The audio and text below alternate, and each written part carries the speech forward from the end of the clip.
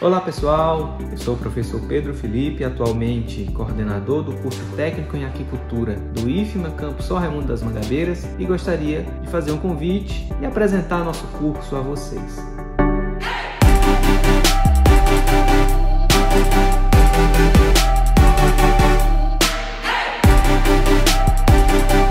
Faz um técnico em aquicultura? O técnico em aquicultura tem uma abrangência muito vasta de atuação, mas resumidamente nós podemos dizer que ele trabalha na elaboração de projetos aquícolas, ainda pode trabalhar na utilização de tecnologias associadas à produção, pode prestar assistências técnicas, entre outras. Sobre o mercado de atuação desse profissional, nós podemos citar propriedades rurais que trabalhem na produção de organismos aquáticos, as instituições de pesquisa e extensão, ele pode ser um profissional autônomo, ser, é, ter seu próprio empreendimento, pode trabalhar em assistência técnica com empresas especializadas nessa finalidade. Ou ainda trabalhar na indústria do beneficiamento.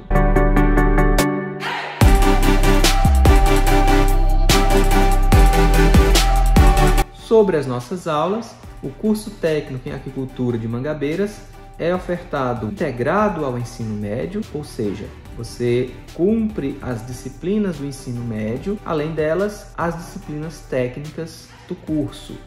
Então, nós temos as aulas teóricas e práticas, além das visitas técnicas que juntas complementam a formação de vocês como técnico em aquicultura.